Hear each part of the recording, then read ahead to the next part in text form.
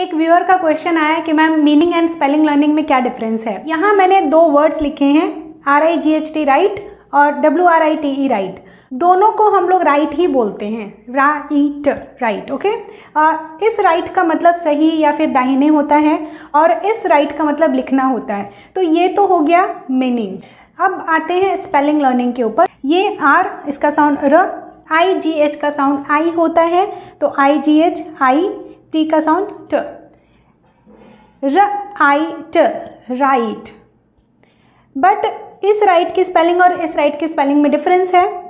W R का sound र है। एन आई टी ई यहाँ पर मैजिक ई का रूल यूज़ हो रहा है तो यहाँ पर इसका साउंड आई हो रहा है। मतलब यहाँ भी आई है और यहाँ भी आई है। एंड टी दोनों जगह पर है तो टी का साउंड ट दोनों ही वर्ड्स का प्रोनाउंसिएशन जो है, वो राइट होता है। ये भी राइट है और ये भी राइट है बट दोनों की स्पेलिंग अलग है।